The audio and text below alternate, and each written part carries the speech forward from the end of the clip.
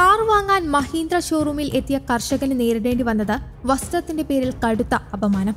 അപമാനിച്ചത് ഷോറൂമിലെ ജീവനക്കാർ.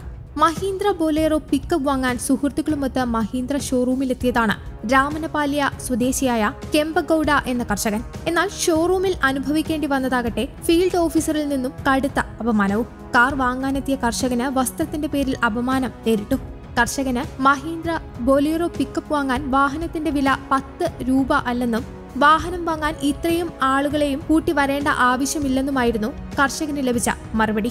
കർഷകൻ ധരിച്ച വസ്ത്രം ഇഷ്ടപ്പെടാതിരുന്ന ഷോറൂം ജീവനക്കാരൻ അതിന്റെ പേരിലും അപമാനിക്കുകയുണ്ടായി. എന്നാൽ സുഹൃത്തുക്കളിൽ നിന്നും ഉടൻ തന്നെ പത്ത് ലക്ഷം രൂപ സമാഹരിച്ചാണ് കെമ്പഗൌഡ നേരിട്ട അപമാനത്തിന് മറുപടി നൽകിയത്.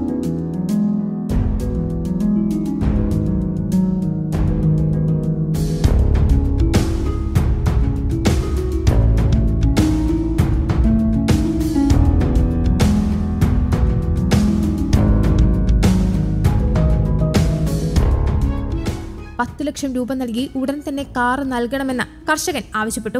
എന്നാൽ കർഷകന്റെ പ്രതികരണത്തിൽ പകച്ച ഷോറൂം ജീവനക്കാർ മൂന്ന് ദിവസത്തിനുള്ളിൽ കാർ വിതരണം ചെയ്യാമെന്ന് അറിയിക്കുകയായിരുന്നു. തുടർന്ന് മോശം പെരുമാറ്റത്തിനും പരിഹസിച്ചതിനും കെമ്പഗൌഡ തിലകനഗര പോലീസ് സ്റ്റേഷനിൽ പരാതി രജിസ്റ്റർ ചെയ്തു. പിന്നീട് സെയിൽസ്മാനും മറ്റു ജീവനക്കാരും കെമ്പഗൌഡയോട് ക്ഷമാപണം നടത്തുകയും ക്ഷമാപണക്കത്ത് നൽകുകയും ചെയ്തതോടെയാണ് പ്രശ്നം ഒത്തുതീർപ്പായത്.